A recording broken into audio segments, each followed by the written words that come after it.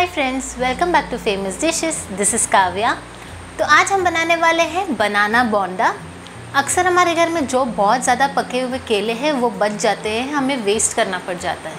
उसी केलों का इस्तेमाल करते हुए आज हम एक इवनिंग स्नैक बनाएँगे।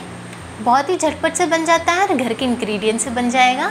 तो आइए चेक करते ये झटपट सी रेसिपी अगर आपने अभी तक हमें सब्सक्राइब नहीं किया है तो ज़रूर सब्सक्राइब कीजिएगा। सब्सक्राइब के पास एक बेल आइकन है, उसे दबाना बिल्कुल ना भूलें, ताकि हमारे हर वीडियो की नोटिफिकेशंस जो है, आप तक पहुँच जाएगी। इसे बनाने मैंने यहाँ पर लिए हैं तीन केले मीडियम साइज़ के, जो अच्छे से पक चुके हैं।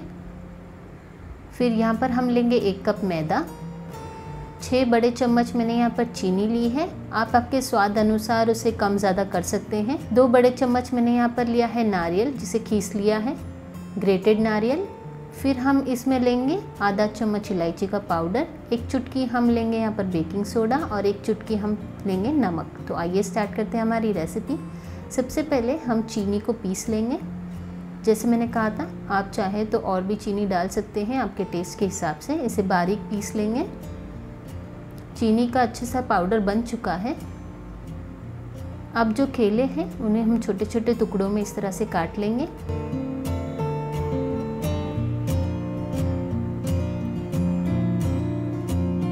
बहुत ज़्यादा पके हुए केले डालेंगे, तभी इसका अच्छा टेस्ट आएगा। अब ये जो पीसी हुई चीनी है, हम उसमें कटे हुए केले के पीसेस डाल देंगे और इन दोनों चीज़ों को एक साथ हम पीस लेंगे।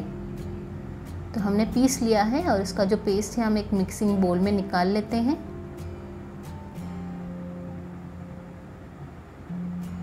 अब हम इसमें डालेंगे मैदा। और इसे अच्छे से एक विस्कर अगर आपके पास हो तो आप एक विस्कर का इस्तेमाल करें और इसे अच्छे से मिला लें ताकि जो लम्स कोई फॉर्म ना हो।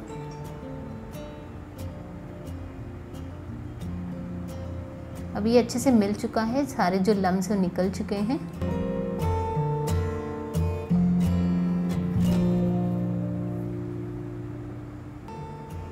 अब हम इसमें डालेंगे नारियल किसा हुआ नारियल। फिर थोड़ी सी इलायची पाउडर और इसे अच्छे से मिला लेंगे। आप देख सकते हैं, हमने इसमें बिल्कुल पानी का इस्तेमाल नहीं किया है।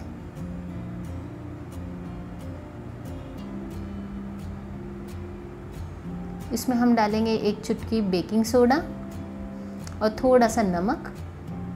बहुत ज़्यादा नमक नहीं डालना है, बस एक चुटकी डालना है।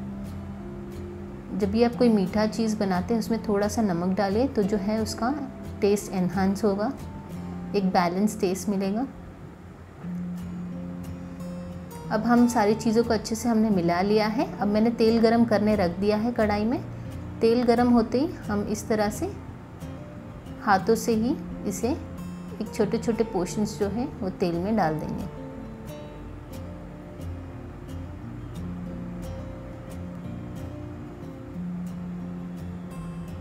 इसे लो मीडियम फ्लेम में रखते हुए ही हमें फ्राई करना है। कुछ देर बाद हम इसे पलट देंगे ताकि सारी तरफ़ से ये अच्छे से पक जाए एक अच्छे गोल्डन ब्राउन कलर में आ जाए।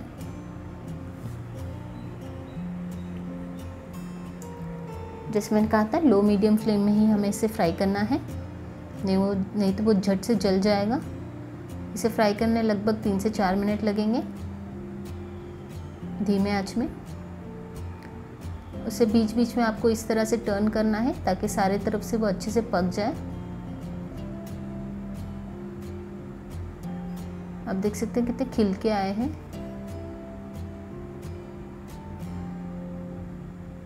अब देख सकते हैं बहुत ही अच्छा कलर आ चुका है, दो, सारे तरफ़ से ये अच्छे से पक चुका है। अब ये बिल्कुल तैयार लग रहे हैं। हम इसे निकाल सकते हैं, लेकिन जब आप निकालें, टिश्यू पेपर में निकालिएगा ताकि जो एक्स्ट्रा ऑयल है, जो एक्सेस ऑयल है, वो टिश्यू पेपर में निकल जाए।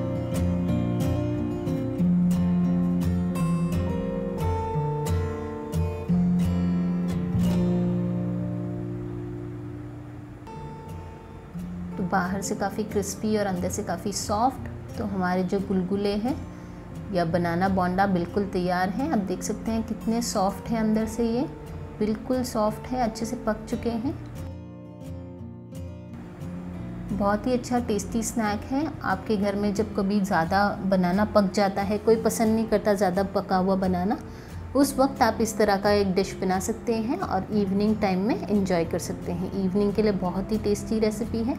ज़रूर ट्राई करें, आपके वैल्यूबल कमेंट्स भी शेयर करें। अगर ये वीडियो आपको पसंद आए तो लाइक ज़रूर कीजिएगा और चैनल को सब्सक्राइब करना बिल्कुल ना भूलें। Thank you so much for watching bye